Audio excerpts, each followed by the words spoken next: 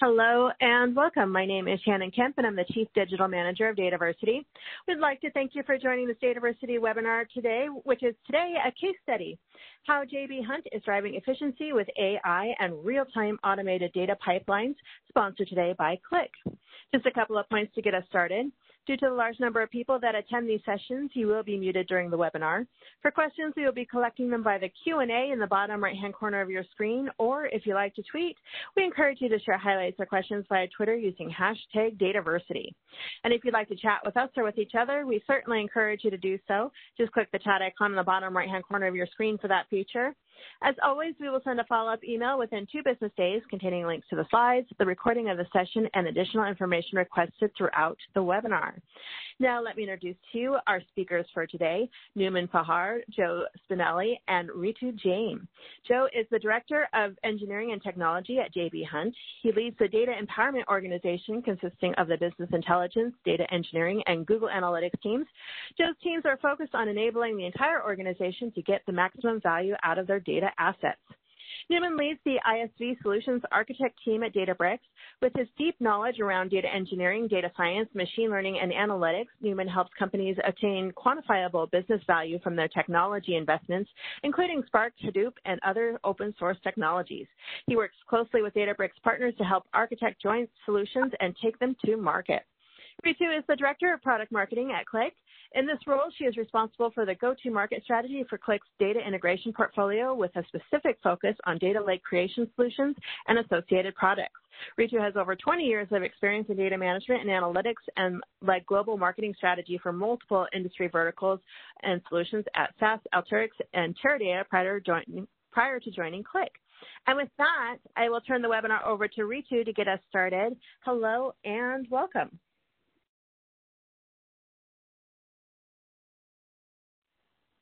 Oh, you're still muted.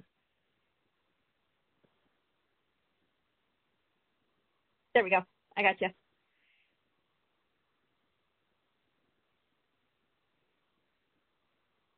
Are you there? We can't. Hi, Richard. Did you mute on your end as well? Can you hear me We're okay? hearing it. Yeah, now we can hear you. We got it. Fantastic.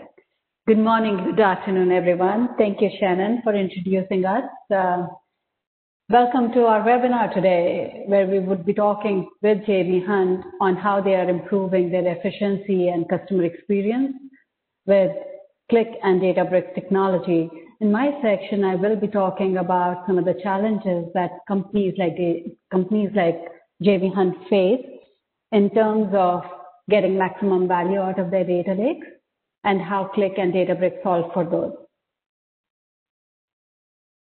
So before I do that, let's talk a little bit about who Qlik is and what we do, especially for those of you who are not very familiar with Qlik. So Qlik is a, a data and analytics company with over 50,000 customers worldwide and presence in over 100 countries. We're known as a leader in both data integration and data analytics space. In fact, Gartner, for the 10th year in a row, has awarded us leadership position in their BI and Analytics Magic Quadrant again this year. We're also seeing huge momentum in data integration space with double-digit growth in that market.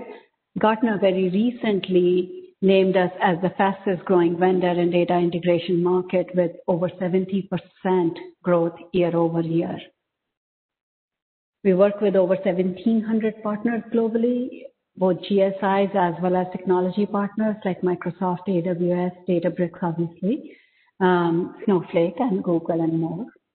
In terms of what we do, we work with organizations such as JB Hunt to help them turn their data into business value by providing solutions for end-to-end value chain, all the way from data to analytics to insights. Our solutions fall in three major categories. Data integration, which focuses on turning your raw business data into analytics-ready state. Data analytics, which focuses on converting that data into actionable insights. And data literacy as a service, which focuses on providing organizations education and consulting support so that they can deploy those insights to drive business value.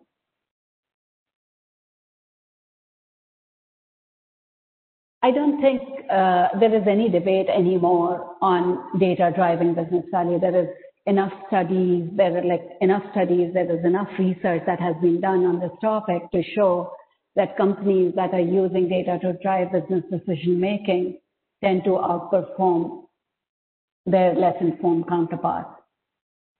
But the reality is that most of the companies still are not using their data to the extent that they should be able to use.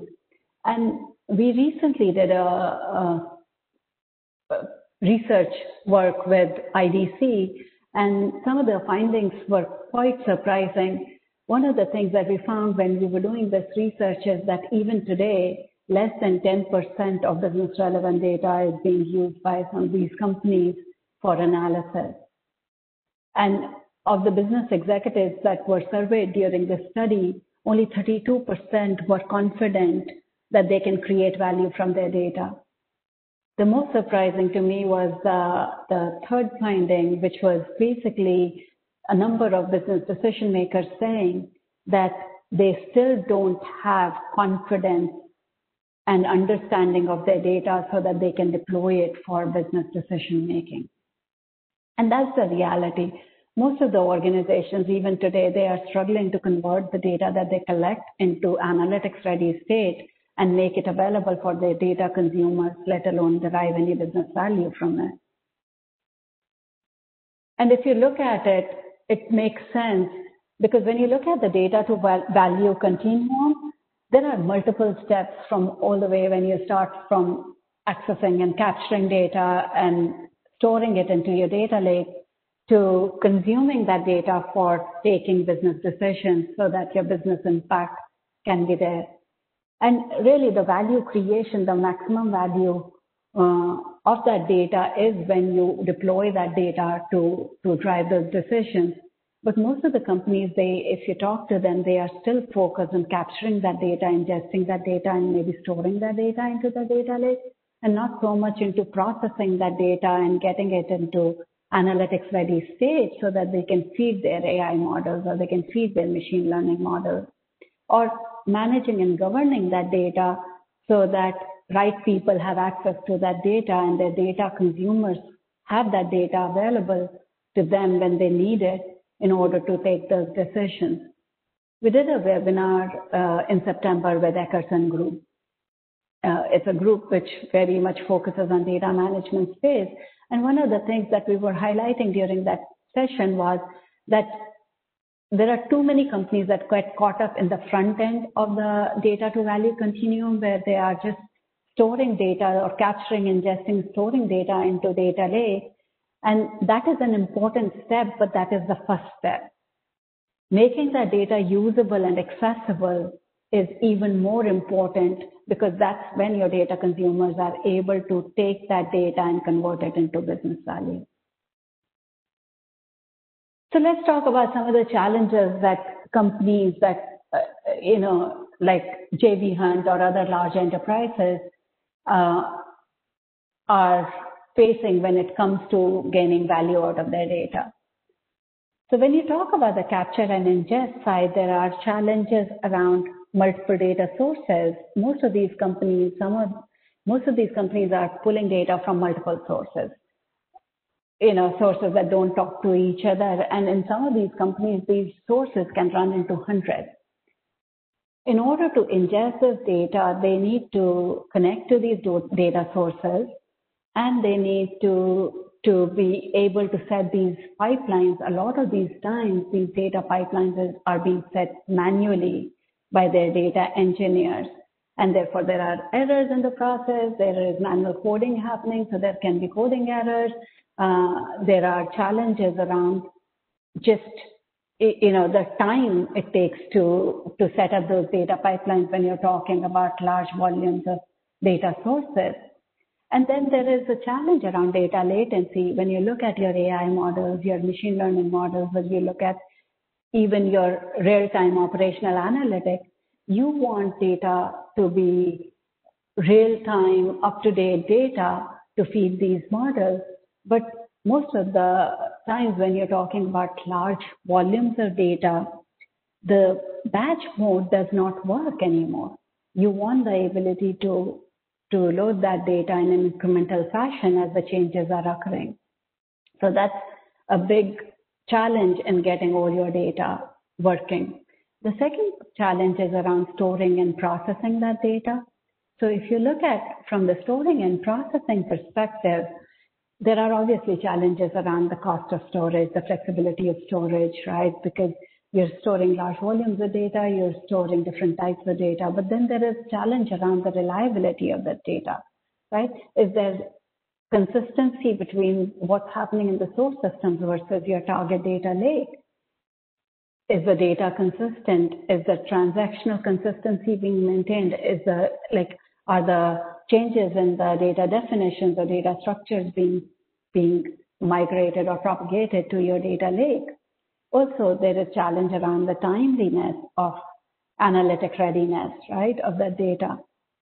So as you're capturing this data, you need to standardize it, you need to format it, and merge those change data files in order to get that real-time view of the data, the most current view of the data. And a lot of times that work is being done by data engineers or data scientists, and most of the companies don't have an army of data engineers, data scientists. In fact, uh, um, in the Eckert survey that we did um, in September, one of the things that we found that the data engineering positions are four times as unlikely to get filled as data science positions. So there is a real scarcity of your data engineering resources. And it is just not possible for any company of whichever size and however investment they may have made in their data engineering side of the business for them to be able to process all this data manually by doing hand coding and by uh, hand coding your ETL scripts. The third challenge is around managing and processing these data, right? Most of the companies, they are in a hurry to dump data into their data lake because they want that speed uh, to store that data into that data lake. But what happens in the process that they usually are not generating metadata around that data. They're not common data definitions. So there are no, even though data is coming from multiple sources, you have no common semantics to search with for that data. So data consumers are struggling to find right data from your data lake, business relevant data, combine those data sets and be able to use those data sets.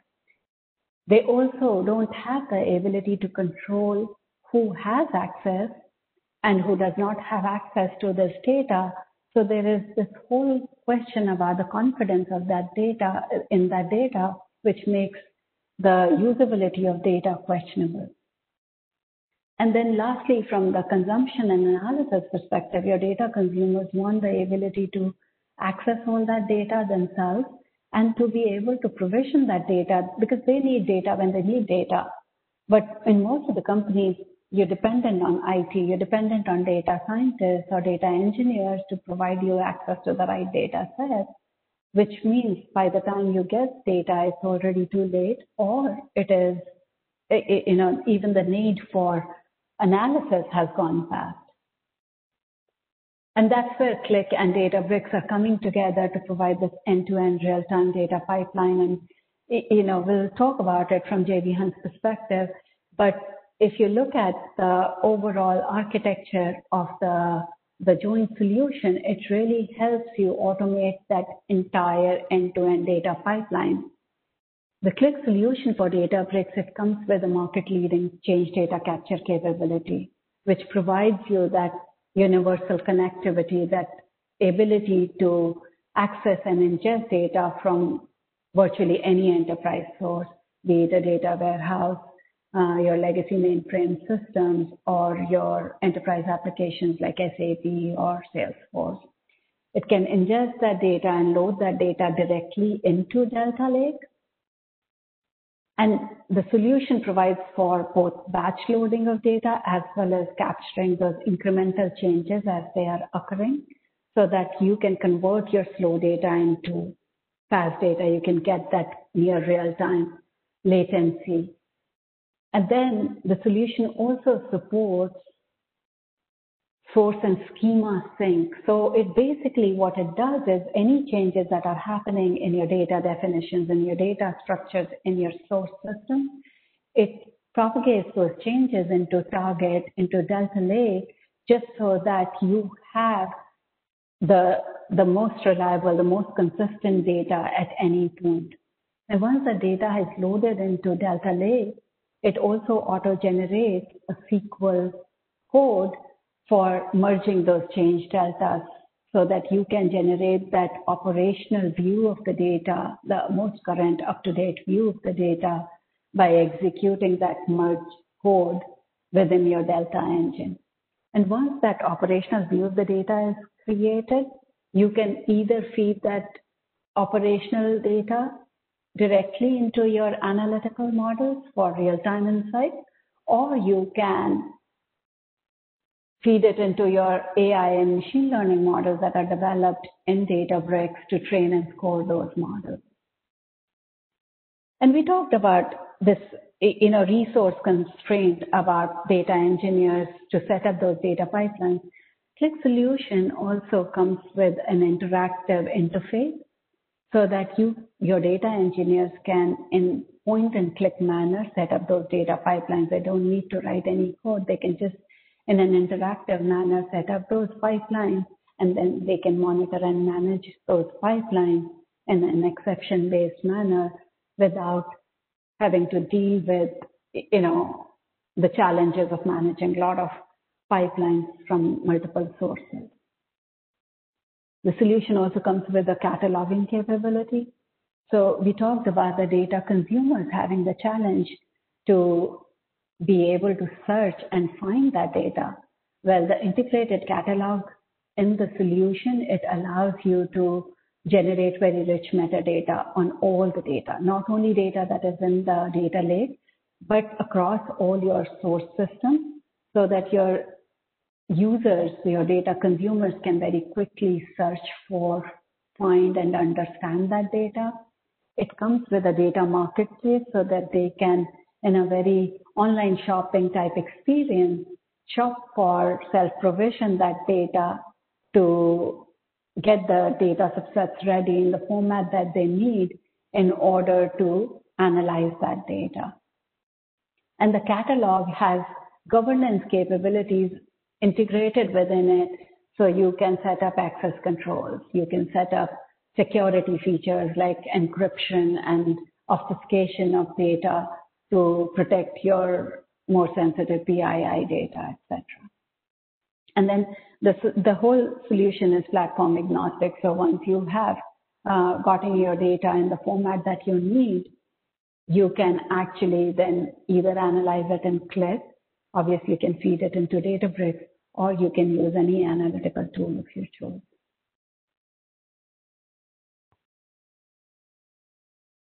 So let's do a quick recap here in terms of the, the capabilities that we were talking about against the challenges that most of the organizations are facing. So in terms of ingest, the, the universal connectivity and the change data capture capability takes care of some of the challenges that are associated with those heterogeneous data or with the data latency.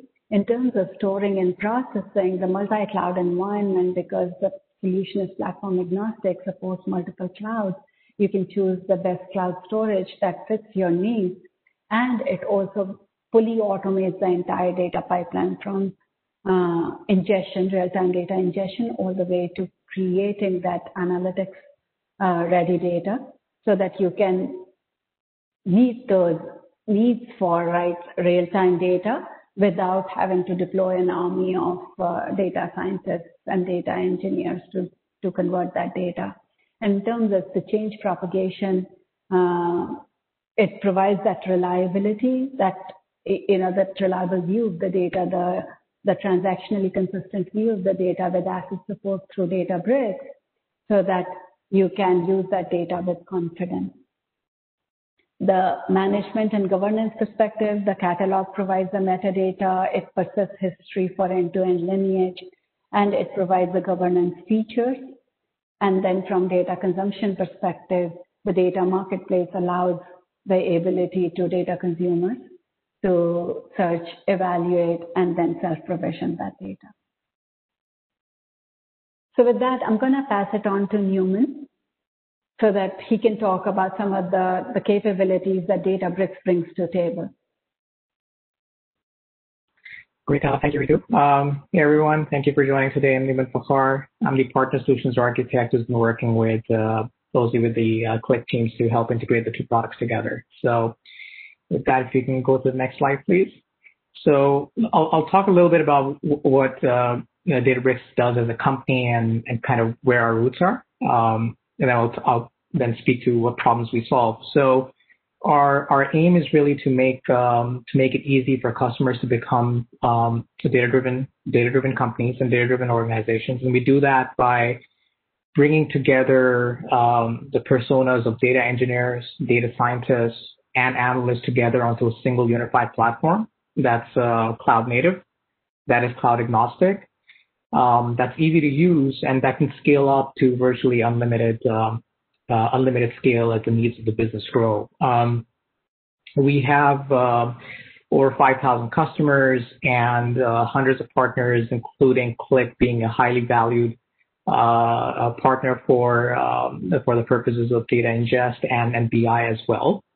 Um, we are also the company that's behind the popular uh, Apache Spark uh, open source project, which has become the de facto sort of um, data engineering framework uh, in the industry.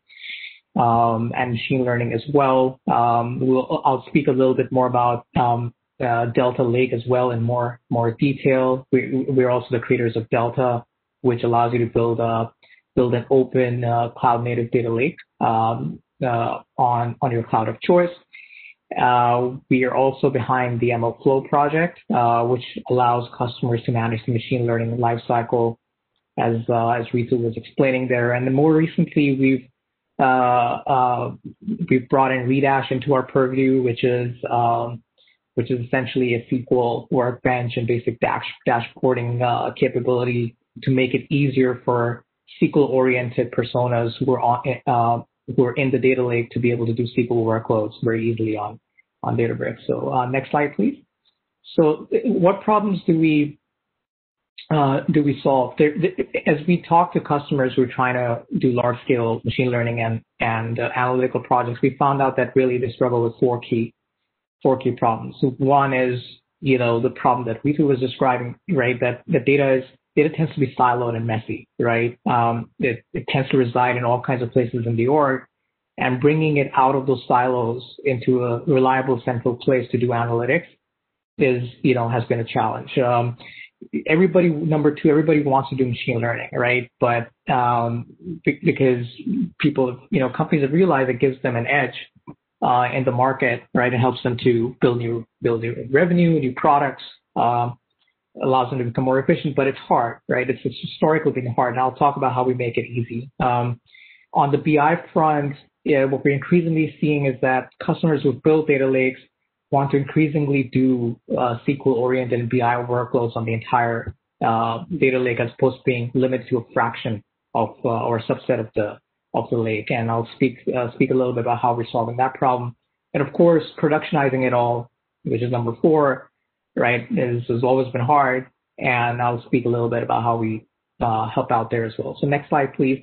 So coming coming to the problem of um, you know breaking down the silos. This is where uh, you know the Qlik integrations are are absolutely key and critical for us because what we see is that customers have data in various systems, right? Be it relational databases, be it mainframes, be it ERP systems, be it cloud CRM systems. And to really derive any value in a sort of a 360 oriented way uh, on those data sets, you know, customers have been asking that, hey, I want to bring it into a reliable, reliable lake um, where where I can do my machine learning and analytical workloads and where I can do it with confidence, right?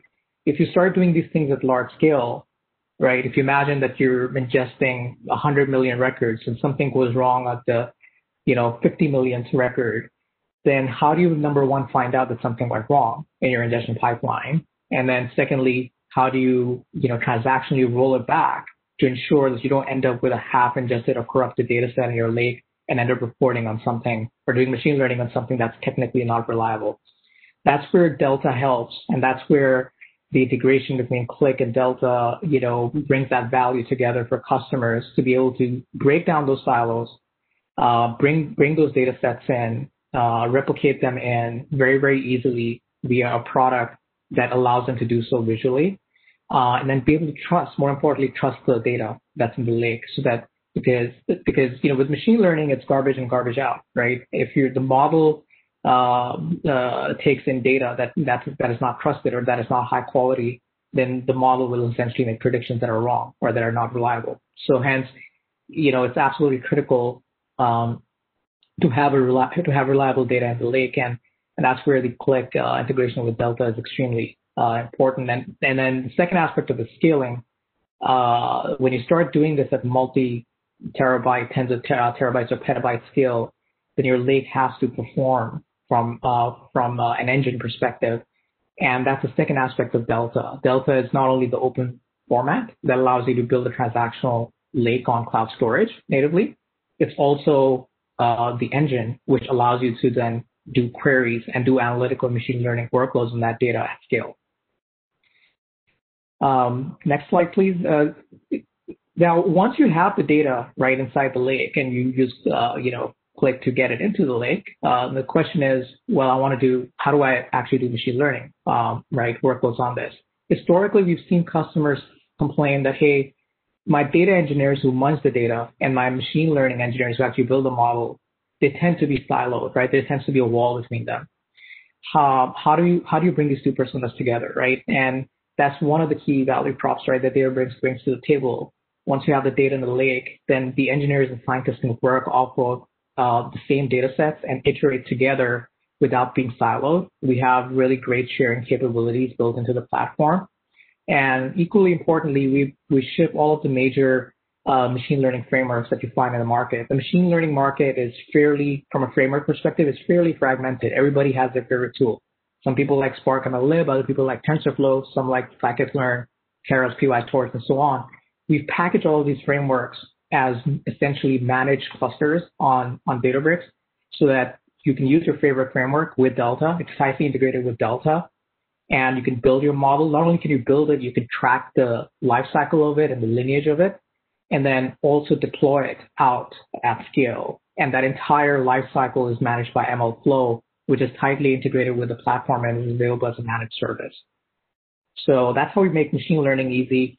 Coming, uh, uh, next slide, please. Coming to the BI aspect, what we've increasingly seen, right, is um, customers, when they've built these data lakes, uh, they want to do not only machine learning on it, but also SQL-oriented, you know, workloads on it. Analysts want to come in and be able to, you know, do ex- exploratory analytics and BI on that on that data.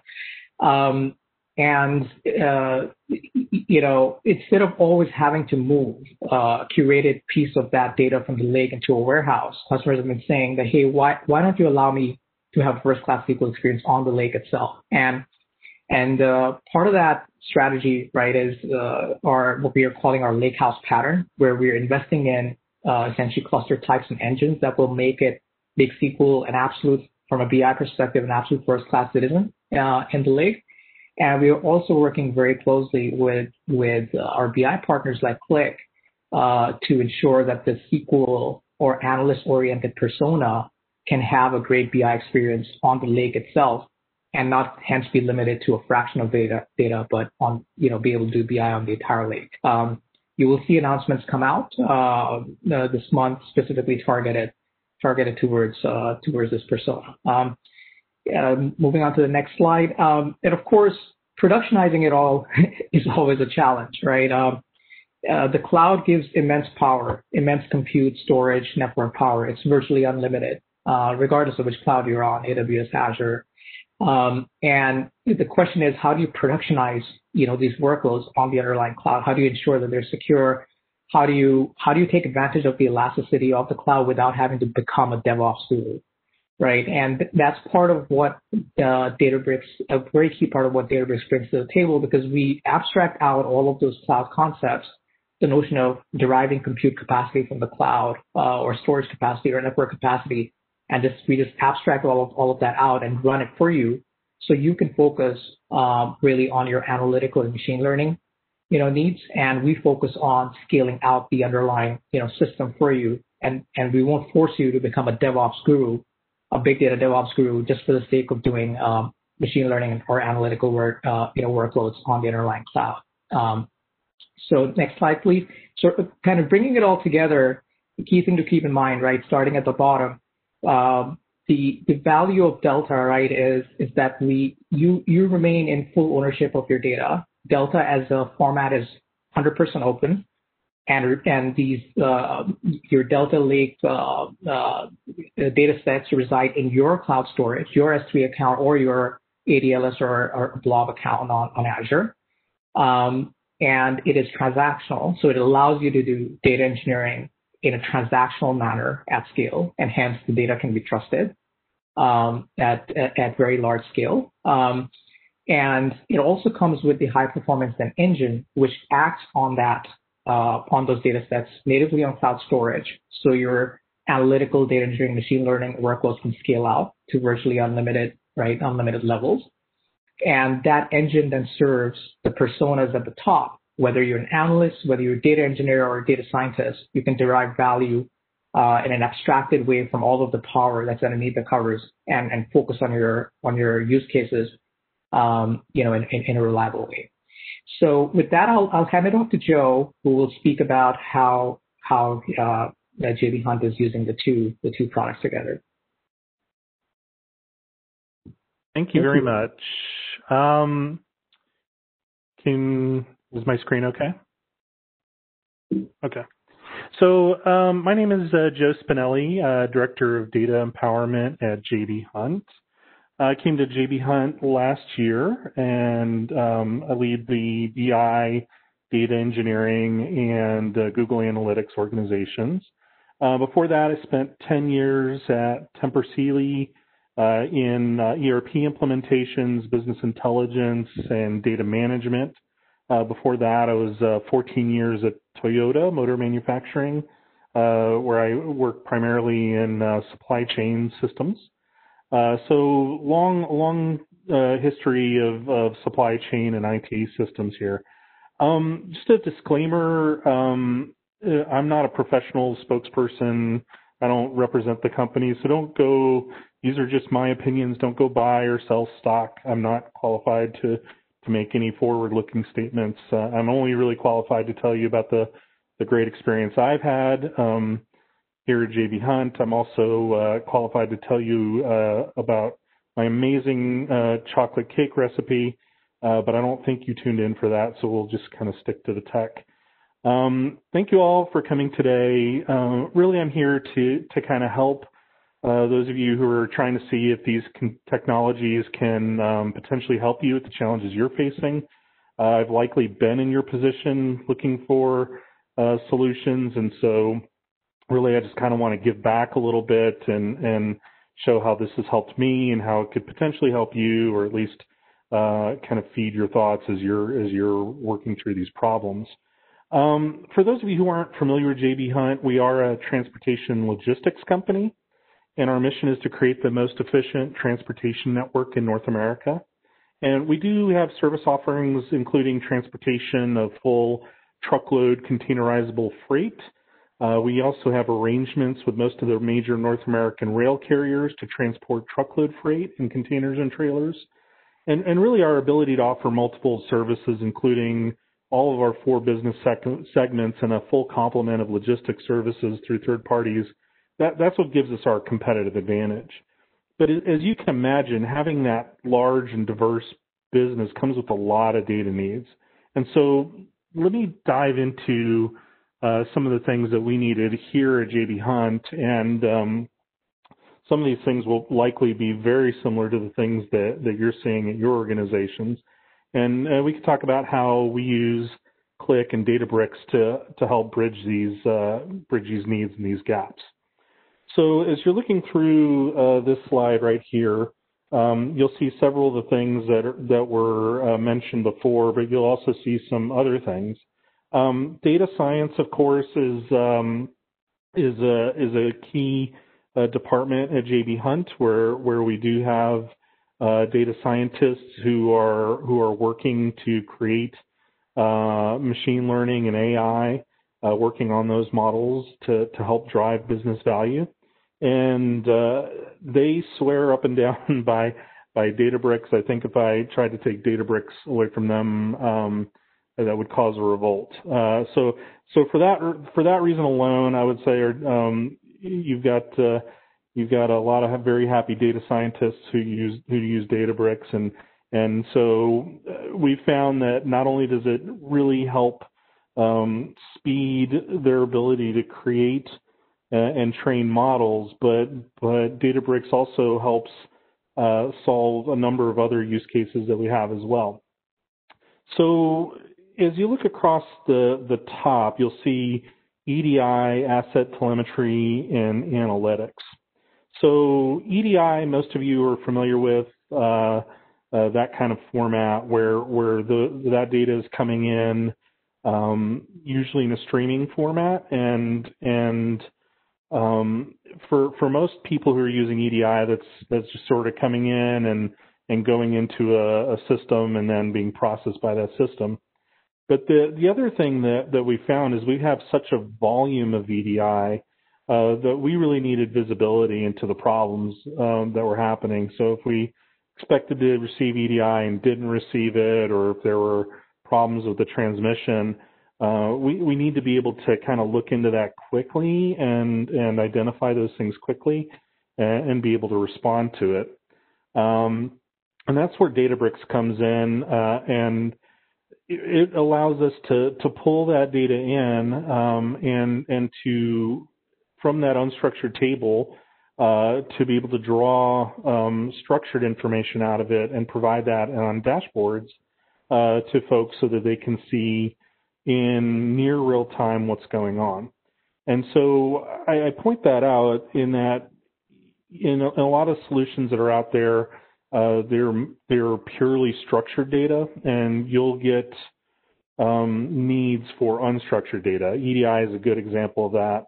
Asset telemetry is another good example of that. For, for us, for our business, um, we we get uh, telemetry data off of our assets, our trailers, and things like that that come in, and this is raw uh, data coming in out of an event hub that that comes in and lands in Databricks that we're able to basically immediately plot and use either in reports or in visuals. Um, and we're able to do that thanks to Databricks. So um, when when when you have needs that include both structured data and unstructured data, that's been one of the key things that we've found with Databricks is that it, it can handle both. Um, and, and not all the solutions out there on the market can. So, so when you're, when you're picking a solution, keep that in mind. Um, another thing, of course, the analytics. Uh, we, we have a real need for real-time analytics. I'll, I'll talk about that in detail in some of the upcoming slides um, as well as the ability for applications to um, um, to get information uh, on what's happening inside the database without necessarily putting additional load on the production database. So this is where uh, that that particular use case is where Qlik came to the rescue, and we'll talk about how that architecture um, works and and how we solve that use case as well.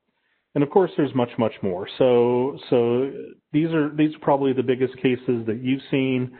Um, I'm sure if you're thinking about, you know, what, how, if I had real-time data available or near real-time data available, if it could be, you know, all the structured formats that I've got, if it could be all the unstructured formats that I got, what could I do with it?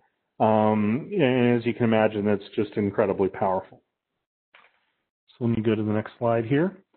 Uh, in talking about data science, um, uh, in particular, this this kind of speaks to why we created a cloud data lake to begin with. So, so when when you're when you're working on data science and you're trying to create uh, ML code, the the ML code itself is not really the issue. Um, the when when it when it comes to creating that system, getting everything stood up, um, really getting the code stood up is not the hardest part. It's everything around it. So collecting the data, verifying the data, um, managing the machines, the infrastructure, the tools, things like that. So just just as Nouman kind of uh, said in his segment, where they they abstract a lot of that out for you. Um, that's exactly what happens with Databricks, and and I led that is what led to us going to a cloud data lake is that we we wanted to get to value quickly. We wanted to be able to get our data scientists uh, into a system, creating value quickly, and we really didn't want to build um, all the infrastructure that was needed around this, and that's and that's uh, again where Databricks came in and and really uh, provided what was needed there.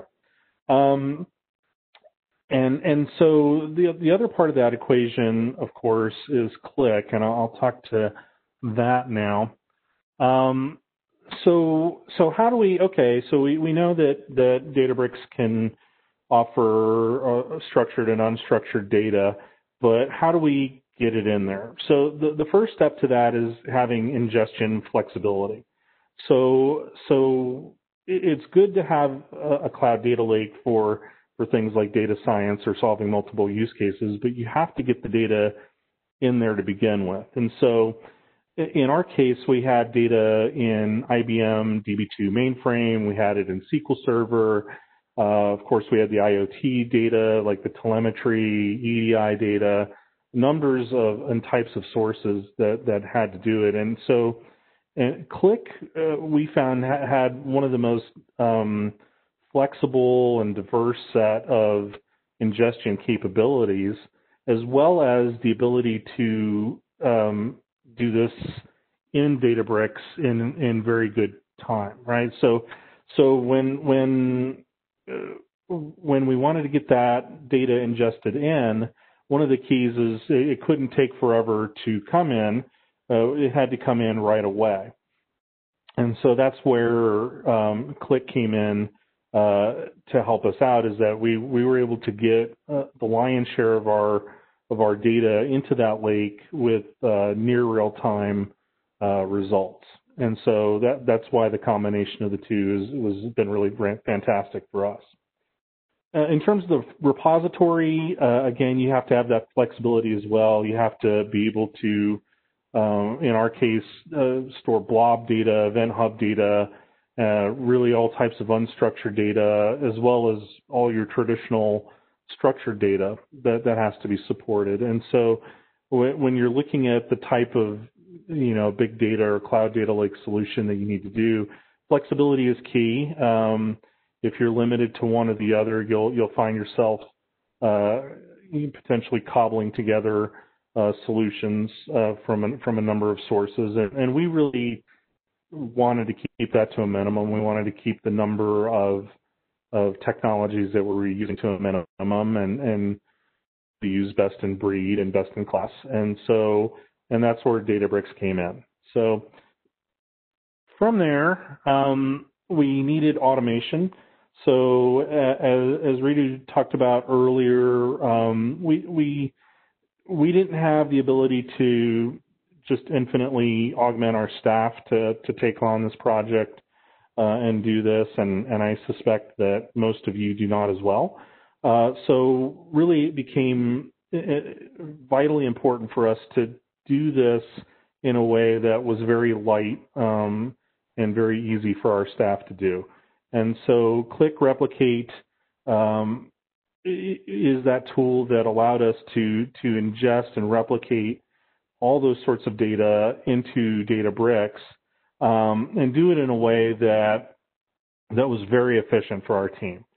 Um, so so, you know, the, the other way to do it, which you're probably familiar with, is to try and build all that ETL. Um, it, it, I wish I wish these tools had existed throughout my career. It would have saved me a ton of time. Uh, unfortunately, they did not, but but we've got them now, and so we're using them, and and it's driving our our time to value. Uh, monitoring was another key component. Uh, again, kind of going back to that issue of of, of staffing.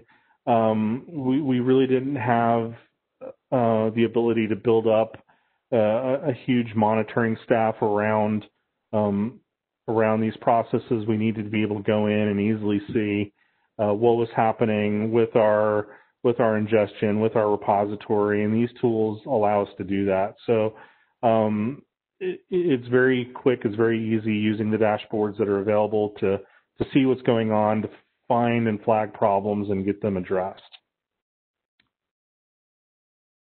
Um, kind of moving down to here, uh, this chart is probably um, painfully familiar to a lot of you. Uh, so I won't spend a lot of time on this in that this is kind of the uh, simplified version of the old way of doing things, uh, the legacy way, which is very, very similar to many uh, uh, corporations, companies that, I, that I'm familiar with, where where you've got all of your operational apps and, and things like that operating um, happily in the production space. Uh, you've got uh, jobs that ETL jobs that bring them into a staging area, and from there reloaded into a reporting warehouse, where then where then you can visualize it out to to those folks who need data insights. And so this is your traditional bolt-on reporting uh, mechanism. As you can see in sort of that the left center portion, you've got uh, a lot of time taken in the process, getting it from from where a transaction happens to when it's able to be reported on. Um, this is probably painfully familiar to to many of you, uh, as it has been to me. It's it's very time intensive, uh, extremely manual, takes a lot of work to do it um, and and frankly just didn't work, right? So um, not the way we really needed it to. So this is kind of a simplified uh, diagram of how things are happening uh, in our future state, in our current state. Um, so here we have a number of, of types of data sources here on the left that that I've mentioned before from from your your ping data, your asset telemetry, um, your your SQL servers that are uh, uh, in in a PaaS state, like your your Dynamics or, or things like that, as well as your on-prem operational DBs, which are which are all structured. So we use Qlik uh, Replicate for the vast uh, lion's share of everything that that we do, and that that puts things into both uh, Databricks here as well as our as well as our hyperscale data store. Um, and what that allows us to do is to, of course, then if you read left to right here on the Databricks section, it, it allows us to to take that raw data and to make it available for both the, the data scientists up here on top, as well as um, data insights users down here on the bottom. So when, when you talk about um, the, the major use cases for Databricks, um, by and large, we're using it for, for data science and for analytics.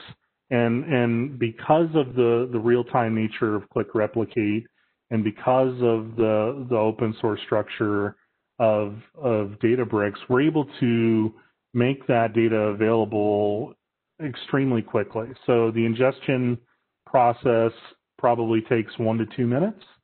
So there's a, there's about a one to two minute lag between when things happen in production and when we're able to visualize them in the data lake. Um, and that's fast. And so from there, it can then be uh, used in any um, in any data models or in any uh, reporting that you have. Um, so that that of course um, kind of speaks to the efficiency of the whole thing. So if you can if you can imagine, we're we're we're not adding tons of staff. We're putting this in place. We're getting that value out, and and and we're doing it without having to build a ton of infrastructure. Um, so so that's really kind of our time to value. Uh, of course, the results continuously update. There's there's really only a minute or two lag between when it happens in in the transaction and when we uh, see it here in the lake to be used. Um, the automation is um, it's highly automated. It really doesn't take uh, tons of people doing tons of ETL to do, and it's secured. So um, from there, I'll, I'll go ahead and pass it back to Ritu for her, for her comments. Thank you, Joe. This was very helpful. Uh, one thing that you saw in uh, Joe's slide that he was sharing in the previous slide, and he was talking about. Joe, can you go back to the slide? Oh, yes.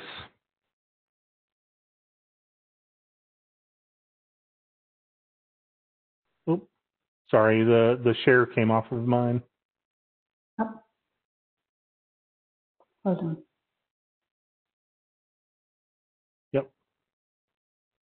Just go to the next slide, please. Thank okay. you. Yeah. Thank you. So one thing that Joe was showing in that previous slide is that how they have a data lake uh, with Databricks, but they also have a cloud data warehouse, which is where they are um, sending data for more traditional BI type reporting, right? So, and that's that's the reality in most of the organizations at this point, especially the larger organizations, the size of JB Hunt and more. Uh, companies have multiple architectures. They have a cloud data warehouse, they have data lake, they are also streaming data uh, to their applications so that uh, they can do real-time analysis with those and uh, reach out to their customers or do you know operational decisions based on that insight very quickly. And today, when we were talking about it, I focused mostly on the managed data lake creation aspect of it with Databricks. But that said, we do support those different architectures. So we do, uh, if you have a cloud data warehouse, we do automate data and the creation of that data warehouse so that you can have that uh, low latency real-time view of your data within your data warehouse. We also stream data to whichever uh, application or uh, you know service that you prescribe to, so that we can actually feed those applications for that real-time data. Joe, can you move to the next slide? Sure. So the last point I wanted to make in this particular deck and in this presentation was there are uh, you know five key principles that I consider when it comes to getting performant data lake or getting the most value out of your data lake data, and those are um, you know listed here. I'll just go quickly over these you need to accelerate your data delivery into your AI models, into your machine learning or your real-time analytics. Uh, the need for information and for responsiveness is so great that you can't afford to do batch uploads. You need that change data capture ability to convert the slow data into fast data. So definitely focus on uh, accelerating data delivery. Make sure that that is there automation kind of goes hand in hand with that. You, you cannot accelerate the delivery of your data to your analytic models unless you automate your data pipeline all the way from ingestion to creation of that analytics ready data. So make sure that you invest in automation because no, um, no number of uh, data science resources or data engineering resources you may have can take care of those automation needs and allow you to, to leverage all your data within your data lake without that. Catalog is critical because you, your data consumers, they need to understand the data that is in the data lake. They need to find that data. They need to be able to, to trust that data and catalog provides you that capability. You also need to make sure that your data consumers have the ability to curate that data themselves. They have the ability to prepare and self-provision that data themselves. So having a capability around data marketplace is extremely critical because then not only can they use the metadata to search and find data, but they can also use uh, data marketplace to shop for that data, to prepare that data, and to get it into the data sets that they need. And then future proof. Um, Joe was talking about the flexibility, right? So you you're more than likely going to add more data sources. There are going to be new types of data that you want to ingest into your data lake. You want a solution that can accommodate for those kinds of uh, changes in future. You want a solution that is platform independent that can allow you to to deal with the changes that may come either from mergers, acquisitions, or just change in your technical direction, right? So, so make sure that when you're looking for a solution, you look for something which has that platform independence, that universal connectivity type of capability, so that it can adapt to those changing data architecture requirements. So those are my five key takeaways. Um, we can go to the next slide, please. On this slide, I don't have anything to say. The only point I would say is we have a happy customer. If you have any questions, reach out to us. We're happy to help. Uh, that said, I'm going to open it for questions. If you guys have any questions, feel free to ask. Shannon, can you make sure that people are unmuted? Oh, we, we don't unmute, but uh, thank you so much for this great presentation. And just to answer the most uh, commonly asked questions, just a reminder, I will send a follow-up email to all registrants by end of day Thursday with links to the slides and links to the recording of this session. And if you have questions for our panelists, feel free to submit in the bottom right-hand corner in the Q&A section. So diving in here, uh, is, is there a Databricks support Windows standalone Kafka streaming clusters? You Nouman, I turn that over to you. Oh, you're muted. Sorry, yes, I was I was muted. Um, so uh, I I think the uh, the question was Kafka, right? Uh, do do we we support connecting to Kafka clusters? Yes, absolutely, we do. Um, we we ship with a Kafka connector for Spark inside the uh, Azure Databricks platform and that can connect to any Kafka endpoint as long as there's network connectivity between the Databricks uh, cluster and that Kafka endpoint. I love it. So, um, question about slides, about the architecture in slide 22. Uh, Joe, I know you have controls of the slides currently. Uh, if you can share, why not have the Databricks stream processors that write to bronze, silver, gold be arranged um, serially between them and writing in parallel to the data stores? Um, sorry, can you repeat the question? Why why can we why are we processing them into bronze? Bronze, silver, gold to be arranged serially, yeah, between them, and writing in parallel to the data stores. Why do you have why do you have uh, Databricks processing there? Um, so so in this case, this is um, so an example of this type of thing is EDI. Um, so so in this case, we have we bring the raw JSON data into the the raw um, into the raw the bronze layer.